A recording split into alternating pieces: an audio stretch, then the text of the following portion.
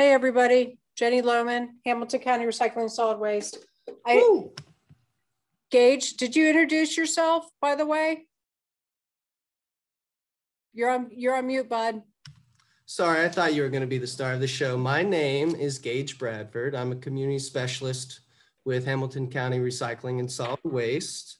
I'll be emceeing tonight. Um, so feel free. I'll be I'll be jumping around the chat and the Q and A, checking out, making sure everybody's questions are answered. Um, my email is listed on screen there. If questions come around afterwards, um, hope you enjoy the show. Thank you, Gage. And uh, he is part of our team. And I'm going to do most of the presenting, but he's also going to be checking the questions and answers, chats, and keeping me on track and let me know if I'm forgetting anything. So appreciate it very much. So welcome to uh, get the Burke on, get the, get the dirt on backyard composting. And at Hamilton County Recycling and Solid Waste, it's our mission to make sure things are not going into the landfill. And backyard composting is a great way to keep the organics out of the landfill. Thanks for joining us tonight. And of course, those of you um, that are wanting one of our, our uh, compost bins will be eligible after this to get the $10 off coupon. Once we verify that you have actually actually participated in the webinar, so like don't click off now and think you're going to get a $10 coupon. But uh, well, that coupon code will be sent when we send out the survey, which will probably be tomorrow after we get all the attendees names, then we can shoot off a survey monkey to you. You fill out the survey and at the in the very last question, it tells you the code for that in red writing. So don't forget when you're filling out that survey, if you want that $10 off coupon for the compost bin sale, then look for that compost coupon code within the Survey Monkey.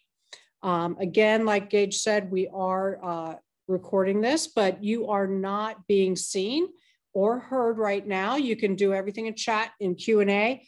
I'm going to go ahead and run through the presentation and hope that I actually answer your questions that you have on your mind. But if I don't, please, please do put them in the Q&A or the chat. So uh, we're, we're uh, certain to get to your, your question. So basically backyard composting is just the breakdown of any organic material. So if you happen to have a vegetable garden and that's what you're composting, or you just have leaf uh, leaves from your yard and you're composting those twigs, if you fruits and vegetable scraps, I take everything that used to be a fruit or a vegetable from my kitchen, those scraps, and I mix that in with with my yard trimmings, uh, mostly leaves. Um, and we'll talk more about the ratios and what that is uh, later on. But basically, it's the breakdown of plant in um, of anything that used to be in nature, right? And it happens uh, in in the woods by itself, uh, and that's why the soil in untouched areas like prairies that have never been mowed or tilled have really super deep root systems.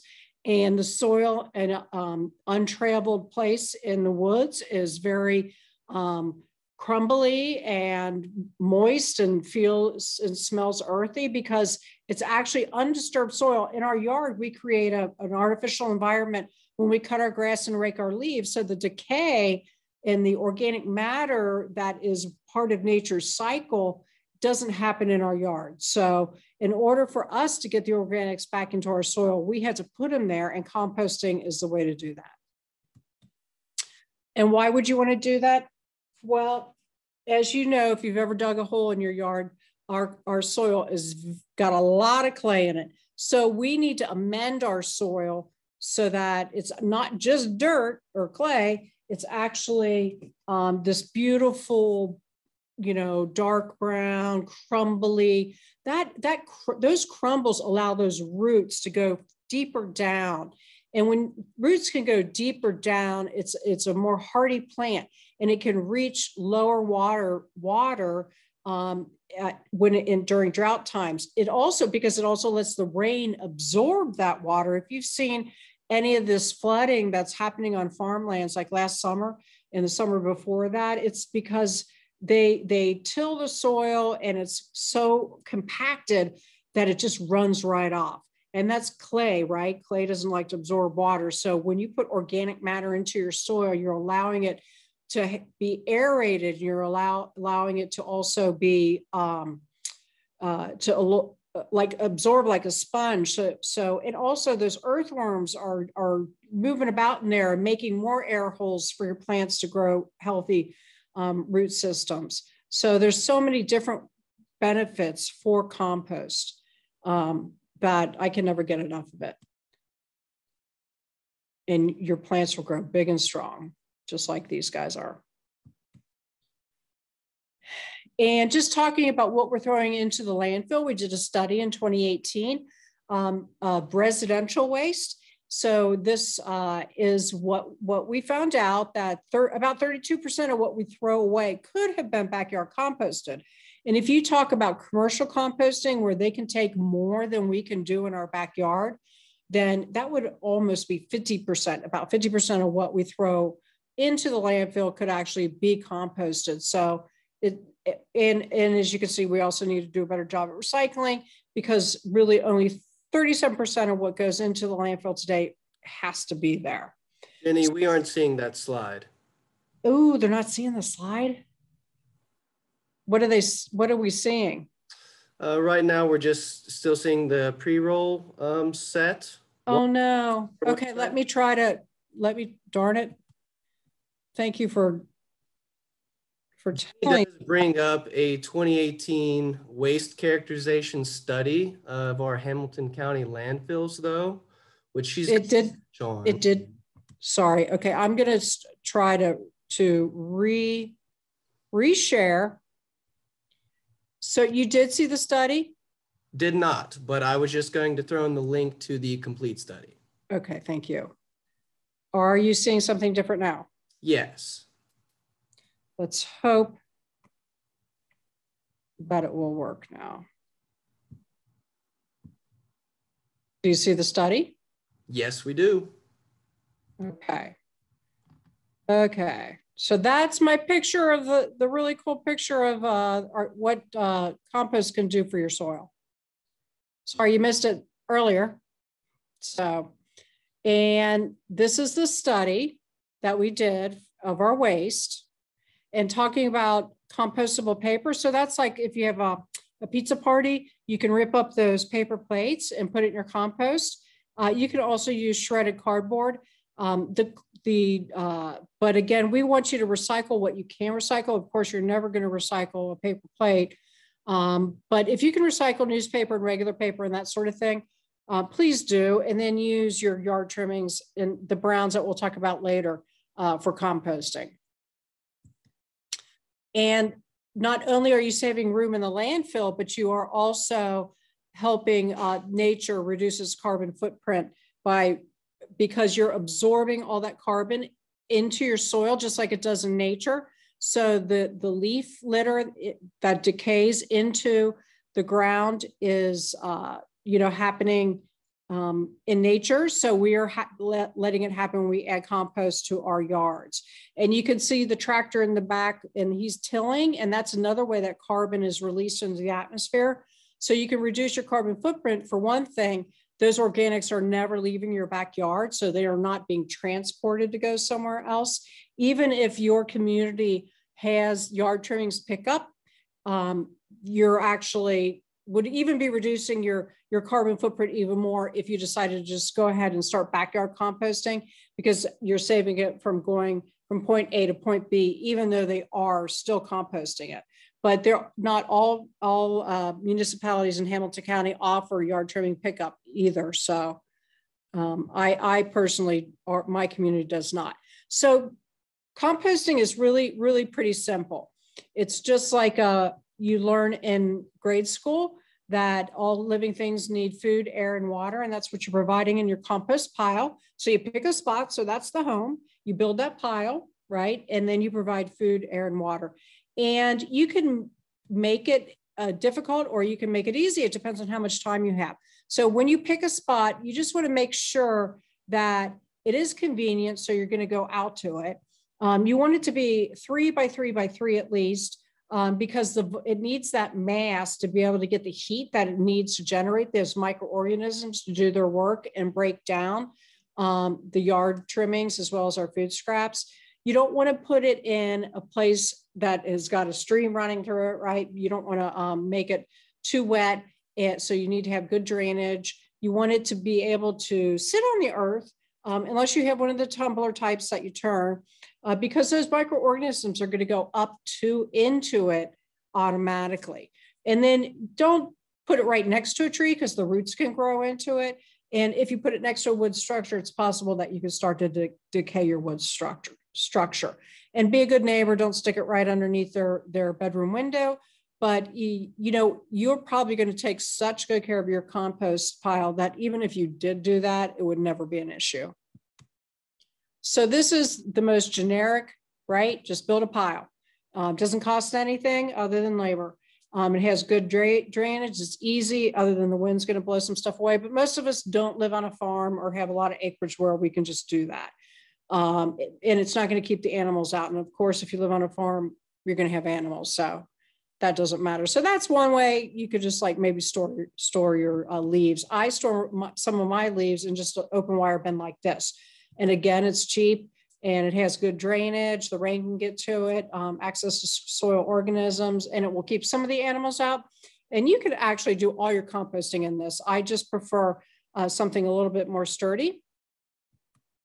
And that's why I've, I've bought a couple of these compost bins. I also have an open bin as well. So these plastic bins, and this is an, an example of, of one that is uh, just like the ones we're going to sell at our compost bin sale.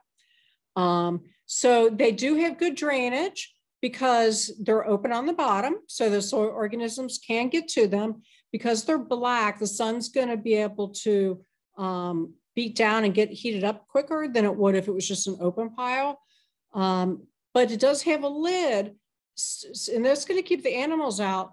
But you, it's also going to keep the rain out. So I like my open bin because I don't have to water it hardly at all because the rain does that for me. And fruits and vegetables have a whole lot of water. Um, so often after I turn it once, I realize, hey, you know what? It didn't really need any water. It just needed to be turned. And um, but the thing with this is eight, it's 80 gallons. And if you look at some of those, um, the the the turn turning ones, I'm losing losing the word on it um, right now, but we'll talk about it later. The ones that are off the ground. Tumbler. Thank you, tumbler. Uh, the capacity is only like 37 gallons as opposed to this is 80 gallons. But I, I, like I said, I still, I have a couple because I like one that's working and then one that's either seasoning or I'm using for storage. This is a tumbler, right? So this is sort of the Cadillac of it. And this one is a bigger one. It's easy to turn, so that's why people love it. They keep it off, it keeps off the ground. So here's the thing, it takes a little bit more work because you're going to have to throw a couple handfuls of topsoil in there every time you're starting it because those microorganisms can't get to it. You don't want to throw any worms in there because honestly, the worms um, are going to bake, right? It heats up quick, just like a, a hanging plant does. So you're going to need, uh, you'll get compost quicker because uh, the hotter it gets, the quicker it breaks down. But you're also going to have to water it more, just like you would um, a hanging plant. So this is the three bin system and it has the open sides. There are three bin systems that have the hardwire cloth that cover the top um, and some sometimes the so side so that no animals can get into them, but certainly animals can get into this one. But I like this example because it shows the different steps. So step one, it can be your storage where you've got your browns and we'll talk about browns later. Step two is maybe the pile that you're working. And step three, as you can see, it looks like soil. That's what compost looks like when it's finished. So they might just be seasoning that a little bit more before they spread it because I can't imagine they're just letting it sit there because I know for, uh, and my, and anybody I know really never makes enough in their backyard to use for everything they want around their yard. But again, this is great if, if you're handy and, and there's all kinds of uh, different designs on, on the internet that you can find. So how are you gonna start your pile? You basically, you start with you about two feet and this is not a perfect science. Don't get, um, you know, a little overwhelmed with ratios and stuff like that uh, of leaves. So leaves we call browns or carbons. And that's how you want to start it. And it's on the ground, so it's on the earth. And you start with those leaves. Here's the thing. I I have oak leaves, and I have so many people ask me, "Oh, oak leaves, you know, they are terrible for composting." Actually, they're not. They they're not as lovely as a maple leaf. Um, just think of, of it as as anything. The more denser or tough something is, like a magnolia leaf, for instance, the longer it it's going to take to break down. So a peach pit and a stick and the stem of a pumpkin, I can tell you, are, are all going to take a while to break down. If any pits like that, or you know, avocado pits, stuff like that, they're going to take longer than say melon or a carrot top or the bottom of a lettuce or your apple core banana peels, those are all going to disappear pretty quickly. So just the denser it is, the longer it takes to break down. And another thing is like, like I said, with my oak leaves, what I try to do is mulch mow them before I store them because I don't have a chip chipper shredder. But um, of course, I have so many oak leaves, I don't always get to that in time. I just got to get them up. So I do use them whole and it just takes a little bit longer. So the smaller pieces you're putting into your compost bin, no matter if it's your carbon, your brown, or your nitrogen, your green, the smaller the pieces, the quicker it's going to break down. So those microorganisms can just think about, you know, if you have a piece of melon rind this big as opposed to this big, how many more surface areas the microorganisms can get to on a smaller piece um, to chew it up quicker. And it's really the microorganisms, even though you can't see them. And the worms and the pill bugs and all those other decomposers, they're going to come too to your compost pile. You don't have to buy anything to throw in there. Some people do like to throw some topsoil on uh, when they're starting too. So this young man you can see has started with his browns, his leaves, and two feet is the rule of thumb to start. And then you start throwing your nitrogens on top of that. So your nitrogens are your greens. And the next slide, I believe, is the one that will show some examples of that. But you're always going to want to cover with your browns um, after you put your greens on. And that is so that you're not attracting um, animals or flying insects. Of course, I am not a perfect composter. I don't, I don't have time to spend as much time as I would like composting. So I'm lazy sometimes. I'll just go throw my vegetable scraps out there and come back a few days later and cover them up with, with the leaves. Um, and I will get some flying insects, but I don't mind that because they're not harmful to my compost. It, some people just don't like insects to begin with. So if you're one of those people, just make sure you're covering it. So any smells uh, won't be an attraction for, for any animal, big or small. So talking about the greens and the nitrogens, I use those two terms interchangeably. So the nitrogen rich materials includes any fruit or vegetable scrap from your kitchen. You might see an eggshell in there, which obviously is not a fruit or a vegetable, but it is one thing that you can add to your compost. The more you pulverize them, the better, just because they take forever to break down, but they add great calcium and, and some nitrogen to your soil. Um, coffee grounds and tea bags, um, slimy pasta you forgot about, um, are all nitrogen rich materials, as well as any green stuff from your yard. So if you just trimmed up a bunch of your dandelions and they haven't gone to seed yet, you can throw those in. And that's a nitrogen because it's green. This time of year when we get, you know, your grass is growing like crazy, um, we recommend that you, you mulch mow your lawn because green grass is a nitrogen and it can add up to 30% of the nitrogen needs that your lawn requires.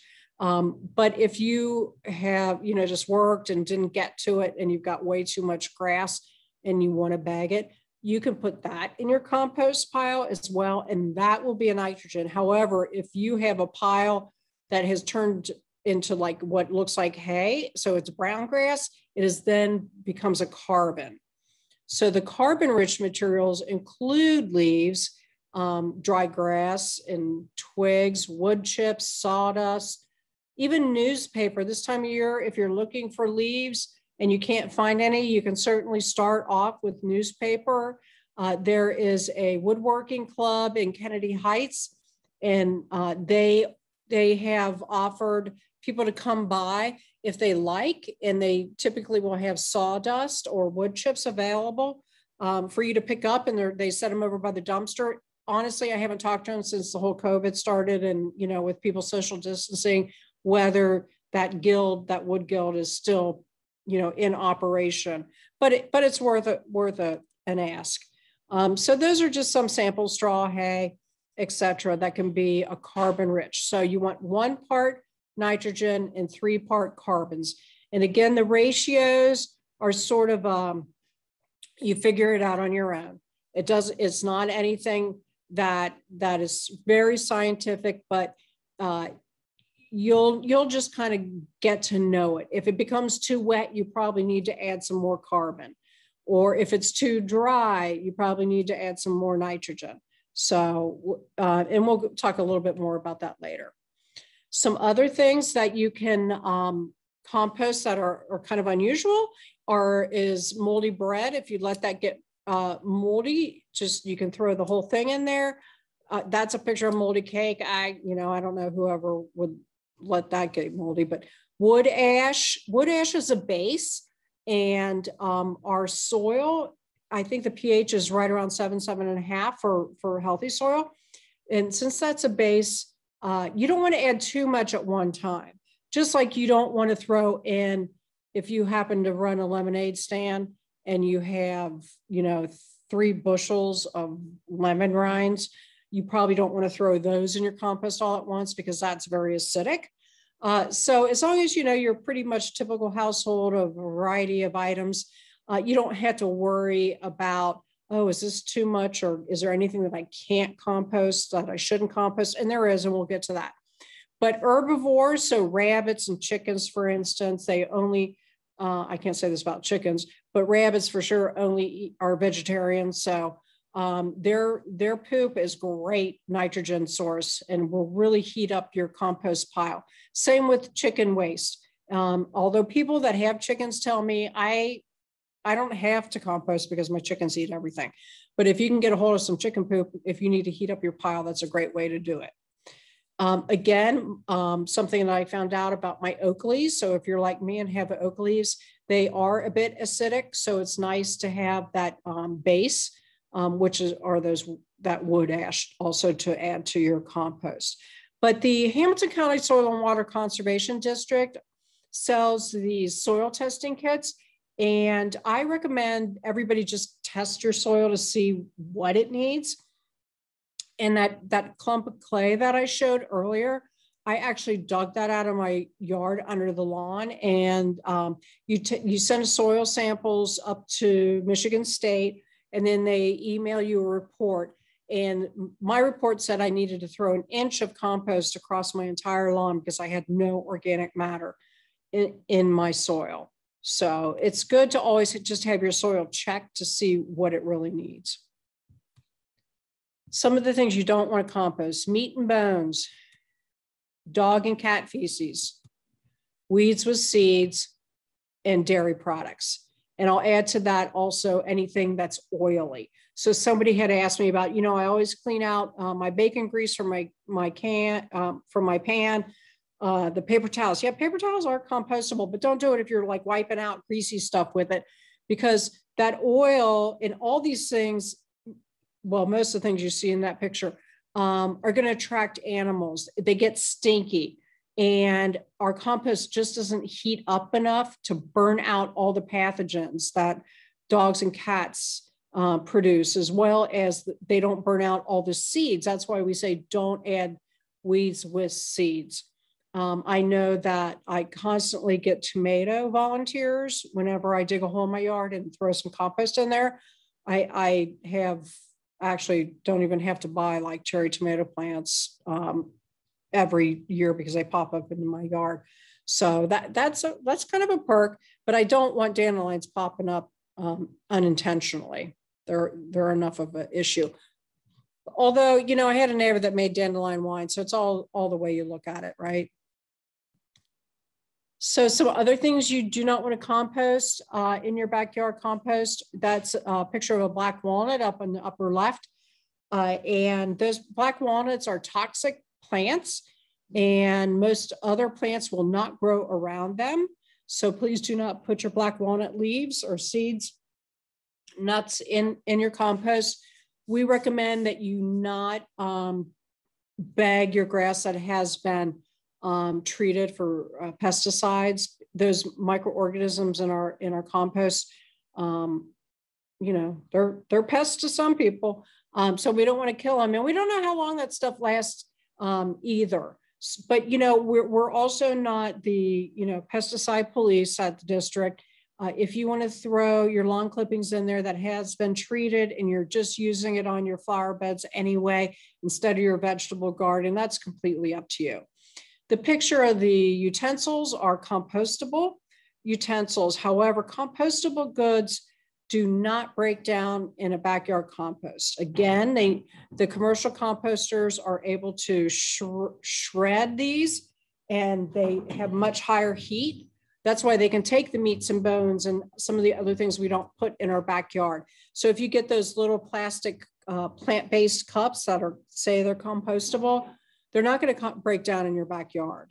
Um, so we just always uh, try to persuade people to reuse, like and wash your dishes and, and stuff like that when you entertain. So those are some of the other things that should not be going into your backyard compost. And when you provide water, uh, you want your compost to be like a wrung out sponge in its moisture content. More than that, it's going to get stinky, and less than that, it's going to be too dry and it's it's not going to decompose. So, like I said, fruits and vegetables, they're anywhere from 40 to 90% uh, water. And uh, so that will help out with that. And also, when I turn it, sometimes it's moist underneath. It just dried on top because it was, um, you know, in the sun.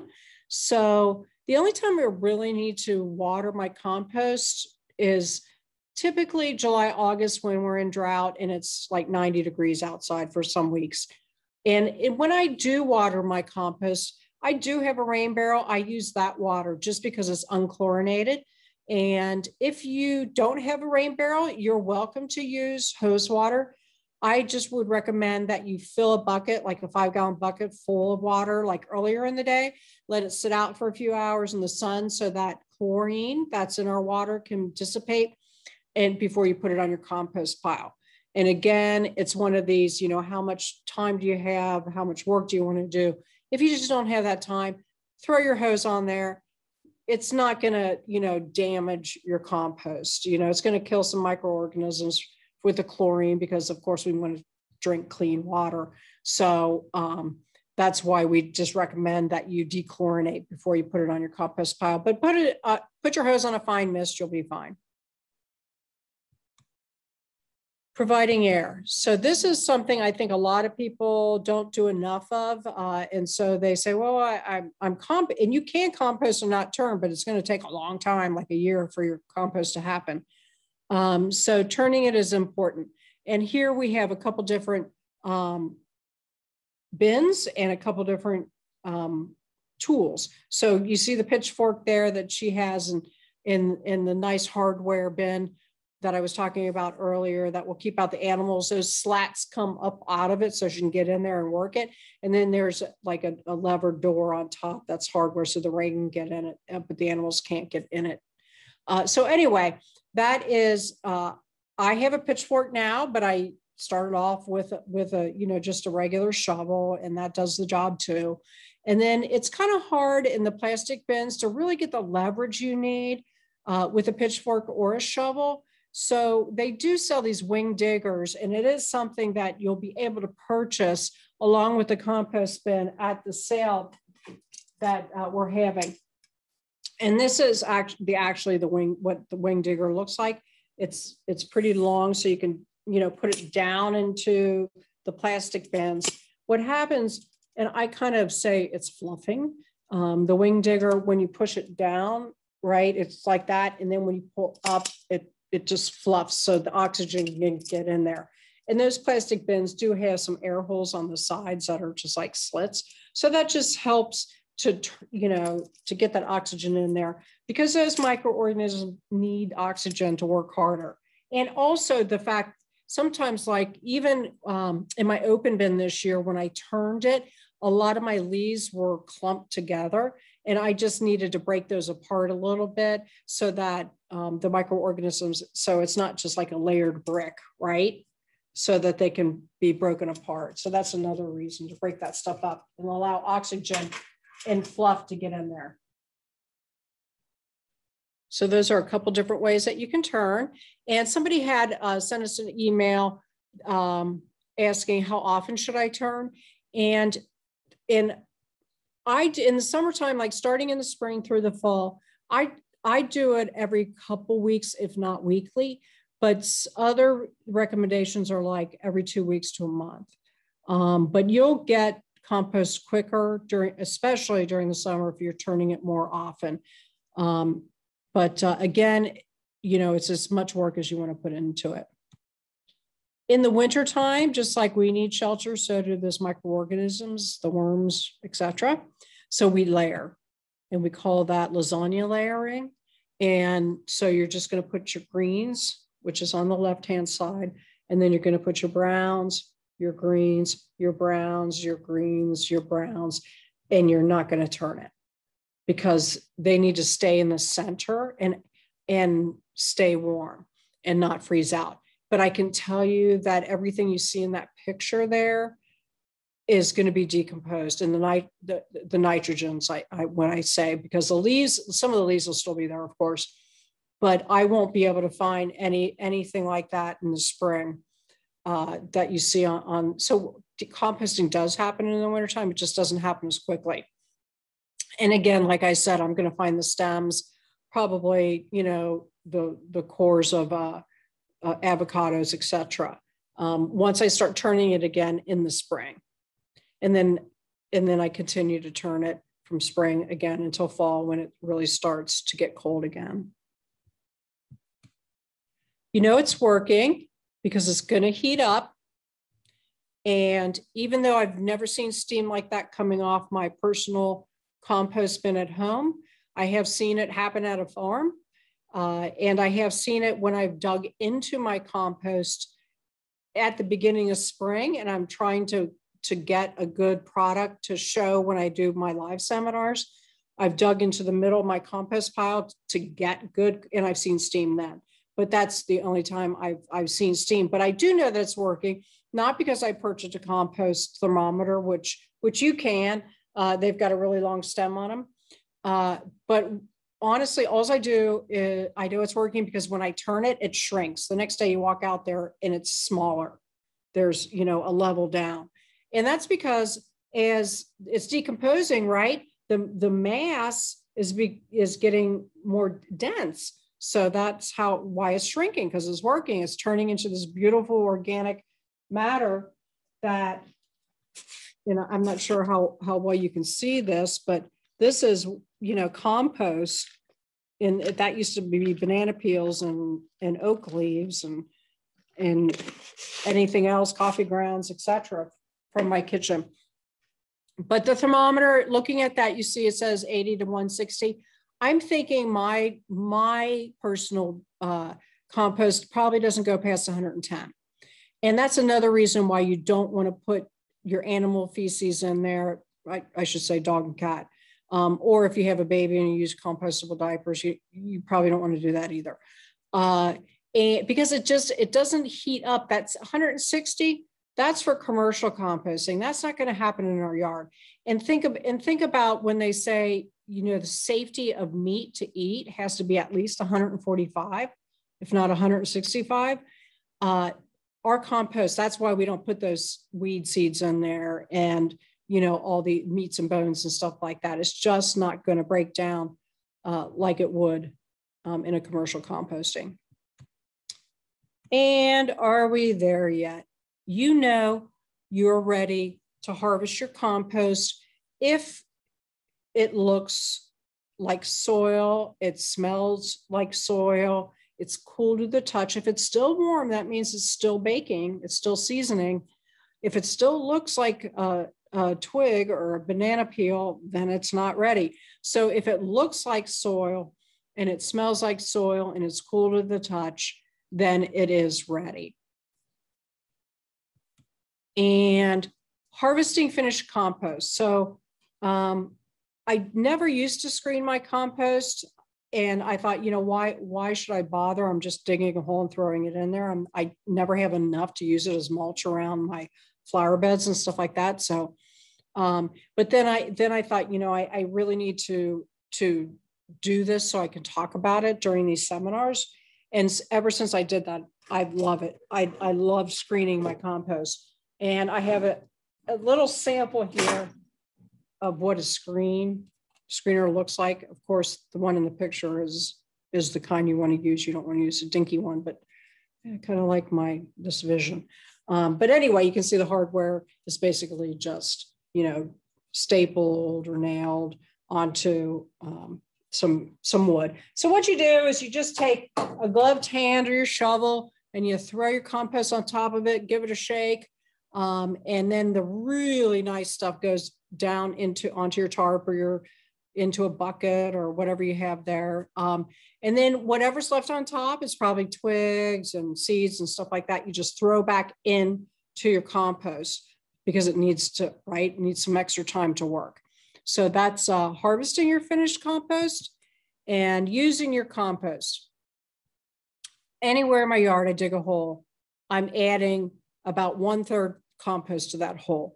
And because we have clay soil, what I have read is that you should break up that clay soil so that it, it becomes like golf ball sized pieces and then add the soil back in. So you don't want to fill a hole with just compost because compost is not soil. Compost is like living on um, a Snickers bar. You're going to get a lot of energy to start, but then you're going to eventually fade out and uh, because it's just not the nutrition you need. That's the same with our plants. You, you, they have to have the other nutrients that soil provide, which are minerals and you know little pieces of rock to cling to and stuff like that.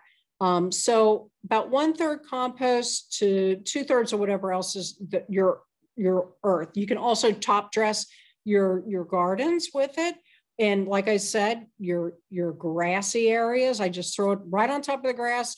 And you would think, how do you do that? But it does after a couple rains, just goes goes away.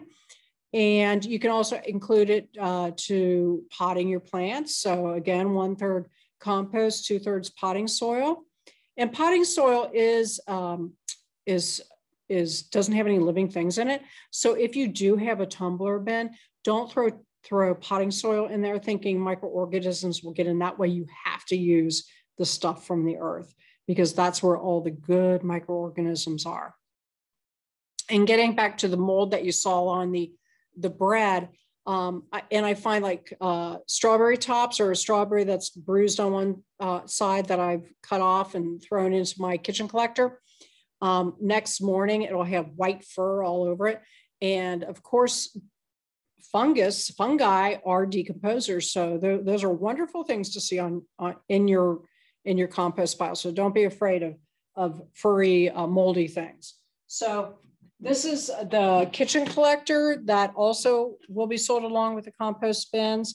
And this is something similar to what I keep on my kitchen counter. So when I'm done with my coffee, I throw the coffee and the filter right in there, as, as well as just like the tops of my strawberries, cores of my apples, banana peels, you know, the, the rotten tomato, you know, that sort of thing. All that goes in. Then I take it out um, every once in a while. Let's say if it's really freezing in the wintertime and I don't want to go out there, I can I can either freeze it or just in my freezer or just like throw it in the garage until I'm ready to go out to my um, compost pile.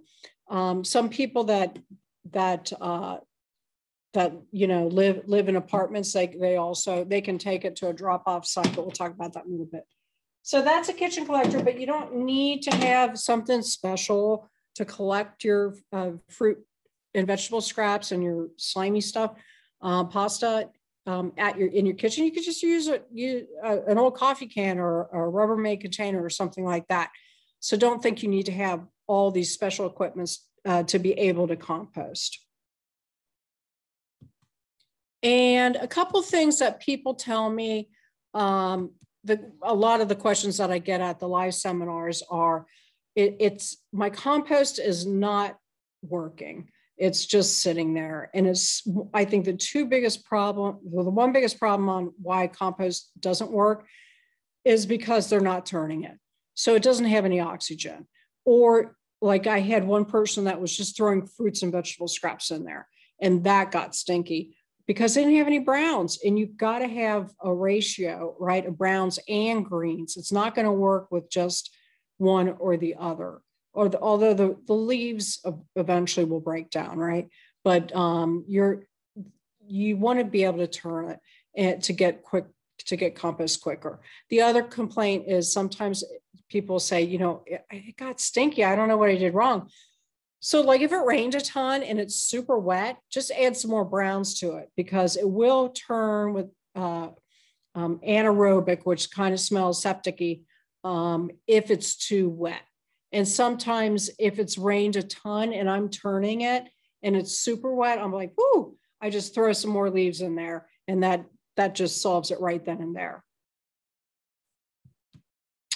Um, do-it-yourself bins, if you're handy, uh, you can build it yourself. There are so many different um, recipes on Google, you know, you could made out of pallets, but people tell me yeah, you make them out of pallets, but they'll eventually decay because it is made out of wood. Like this is, I think, is a cedar wood. That's not, I think that's like a very high priced wood that does not decay. And that's, but uh, this actually is a, a picture from uh, Wyoming in here, here in Hamilton County, where they have built a system for their restaurants to use in the village of, of Wyoming um, and they take all their back of house scraps and they take them there and they're making compost. And uh, it's, I think it's a, it's a great thing. And so many schools are doing it now. And even businesses, right, are doing that for their employees. So, uh, you know, we can help you out with all that. Um, if you're interested, Hamilton County, of course, supports all, all that, not just backyard composting. There's all kinds of bins that you can purchase. Uh, we've got the tumbler types and the one on the, the bottom right is called a geobin and basically it's a piece of plastic that you just stretch out like that.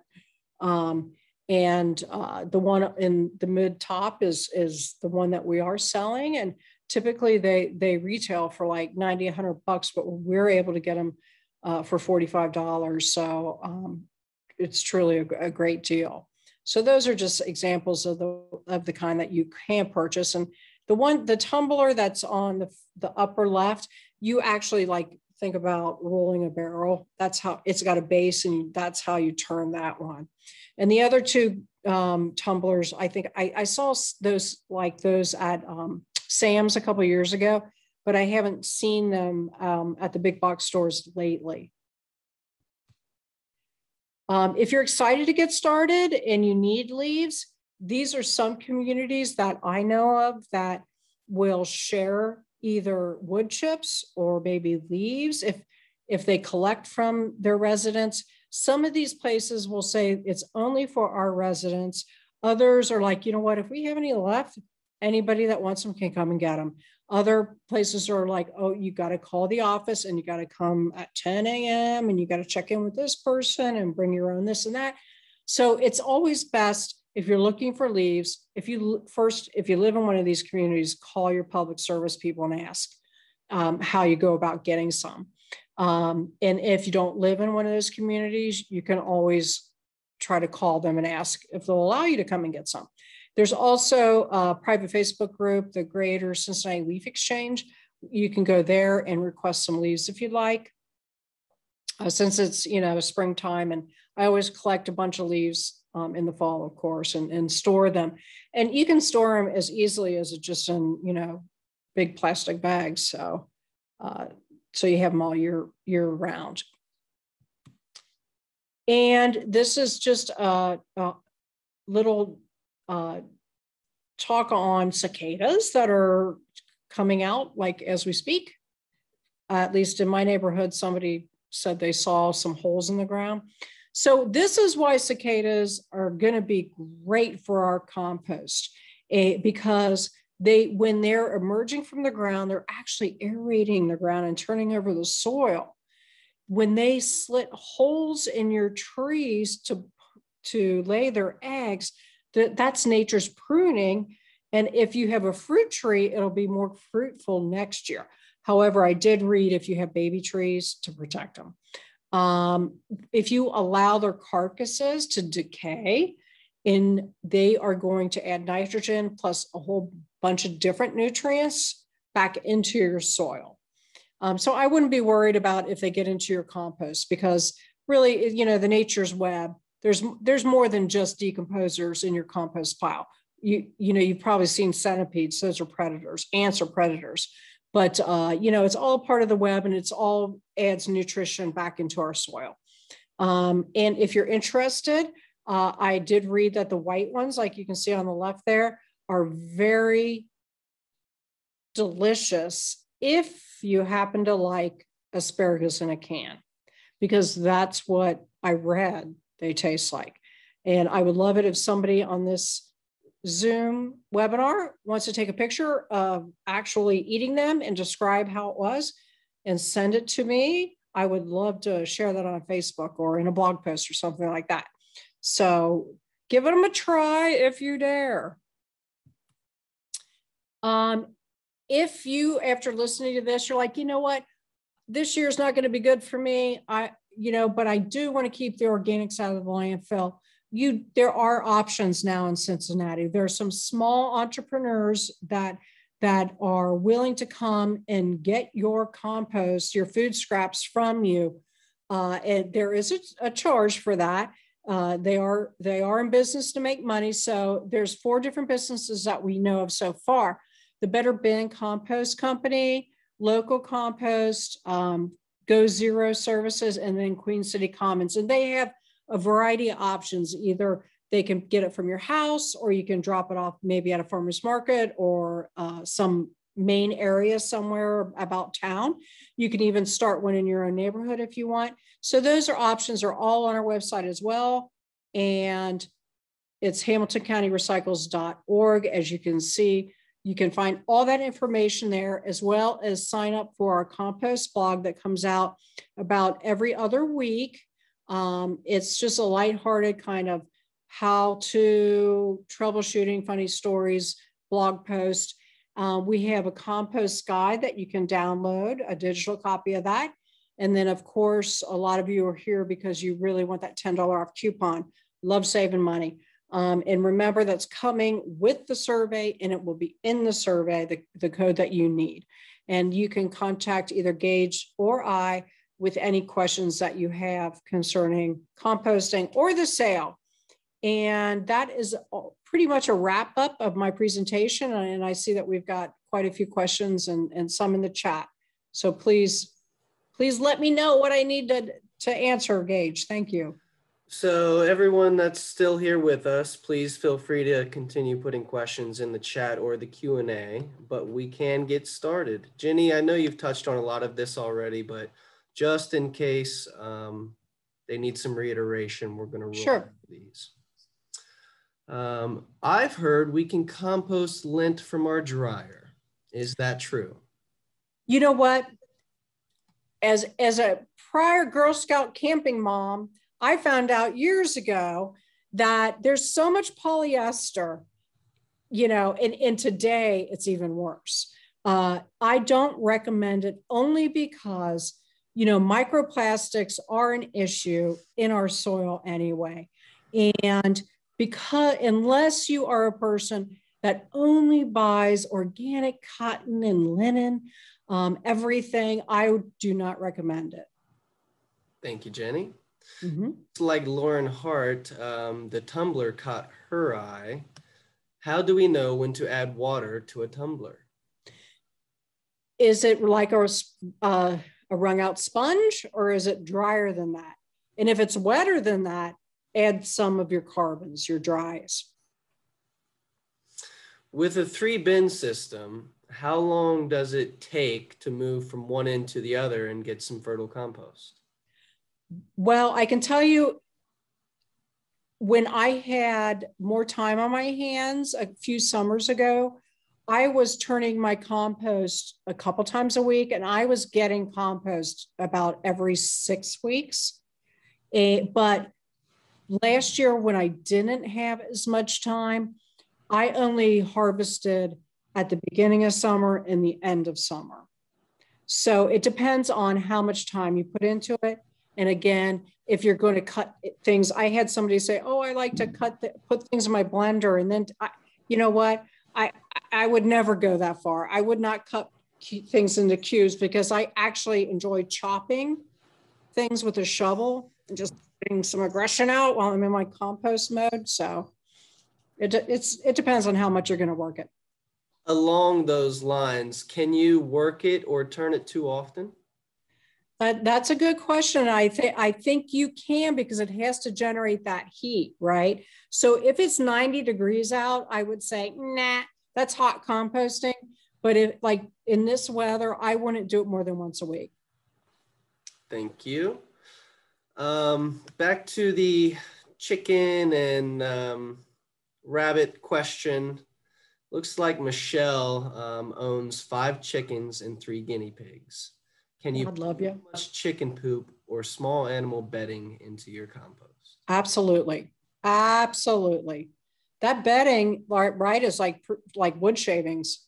So I would say unless you're, you know what, and, and I I haven't had a hamster since I was in third grade. So, you know, I don't know uh, what, what they make the bedding out of anymore. But if it's got any synthetic in it, don't. And that reminds me of like when I talked about the wood ash and adding that, do not add charcoal briquettes because those have a petroleum base. So that's the difference between charcoal ash and wood ash, right? It's like you know what question is coming next, Jenny. So this is from an anonymous attendee. Um, should you throw in leftover hardwood charcoal from a charcoal grill? Hard hardwood, absolutely. Yes. Okay, wrapping up towards the bottom of the list, still several to work through here. If someone doesn't have access to leaves in their backyard, maybe can't get any luck going on the Facebook group or through their township, um, can they use newspaper consistently? Yes. For their cover? I, I okay the, the, the, the, with the newspaper you don't want to use the slick advertisements like magazine because those have uh, what makes them shiny and glossy is clay and you don't want to add that to your compost. Um, you also don't want to use shredded office paper because office paper tends to clump and it's going to blow away. Besides office paper is a super high quality paper that we want you to recycle. Whereas newspaper's been recycled so many times that that's why it kind of disintegrates when it gets wet uh, because it's super short fibers. So newspapers are fine. Um, citrus is okay. Absolutely. I think someone got a little concerned about your lemonade stand. Um, but no, unless you've got bukus of, of lemon rinds, you're going to be just right. fine. Right. Um, can you put the tomato seeds in the compost? Will they grow in there? So I actually never thought that anything would grow out of my compost pile until last year. But I think, like I said, I wasn't working it like I had in previous years. So I think it actually, the roots got down into the soil below. I got uh, acorn squash and um, I think it was um, a butternut squash. I, I let the vines grow because I'm always interested to see if they're going to go to fruit. Normally, they only go to flower, but you can eat the flowers of squash, like in salads, and throw it on your soup for a little prettiness. Um, so I just kind of let it go and I ended up getting them. But typically, in a compost pile, things will burst out of their seed and, um, and then they'll die because it just doesn't have all the stuff that soil you need in soil. So for, for the most part, you don't typically get anything to grow on your compost. How about cat, dog, or human hair? Hair is fine. It does take a long time to break down. And I did hear that it deters, um, I think it's um, deer if you like stick it under where, whatever your deers like to eat. But Um, cedar shavings? yes, Um, and Jenny, we had a slide on it, but for anyone that's still maybe unsure, could you talk about the specific type of composter that is in our sale? The yeah, the plastic. yes. And I'm trying, I'm wondering if I stop sharing, do you happen to have that pulled, pulled up? The sale, the sale uh, website? Yes. Yeah, I can share that. I'll stop sharing and then, and then you can share if you don't mind.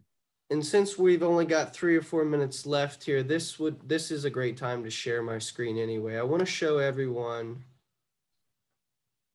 I want to show everyone um, our website. So here's the home page. Can you see that? I can. All right. So here's our home page, hamiltoncountyrecycles.org. If you go to residents, we are in a backyard composting seminar right now. If you go to residents over here under composting, go to the compost bin sale. She had a slide with the earth machine up here earlier. So this is the look of it. Um, Jenny, I think you've got experience with these. You might even have more than one. Happy with the product? I am. And here's the link to the actual shop where you could select what kit you want. Maybe you don't want a Wingdigger and a kitchen pail. So you just go here, enter your coupon. Um, should be pretty straightforward. So hamiltoncountyrecycles.org, go to the composting section under residents. Booyah. And, and remember, if you're going to do the, um, the, if you want the $10 coupon, don't pre or pre-order until you get that coupon code. And if uh, it, it does not uh, apply to the rain barrel because we're a solid waste district, we're trying to keep things out of the landfill, but I, I love rain barrels too. We just can't offer that subsidized cost for rain barrels. Um, and yes, you do have to be a Hamilton County resident to get the coupon, but anybody that wants to come to our sale can order, and you're still getting a great price at under $46 for a composter. And the rain barrels were also discounted. Yeah, so just to reiterate, anybody, you know, Clermont Butler, anybody can go to our website and access the shop and purchase a compost bin. You just won't be eligible for the coupon. Uh, Nick, your coupon will be in the survey that will be sent to you within the coming day or two. Um, it, it will be in the last question. I'm trying to just go through these questions one last time before we have to get out of here. Um, when should you add, Jenny? When should you add compost to your soil or your garden? Anytime.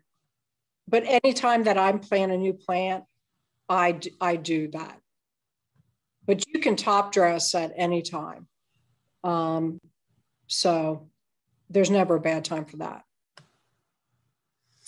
Well, I think we have ran through every question. Jenny, you answered every single one. Um, so I think that should do it unless there's any last minute entries in the chat there. I don't see any. Yep, I see. Well, Joanne just asked if a Kentucky resident.